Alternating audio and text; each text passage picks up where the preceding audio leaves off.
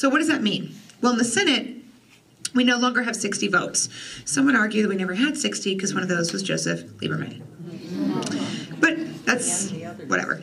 Um, yeah, and Nelson too, but really Lieberman. Um, so, so now there's, um, I I think as the president so eloquently said on Wednesday, there's none of this pressure, this false pressure to get to 60. So what that means is that um, the Democrats um, can stop um, kowtowing to Joe Lieberman and instead seek other avenues to move forward with health reform. And so it's likely that the Senate will move forward with a process called reconciliation, which takes only 51 votes. And by the way, is not unusual.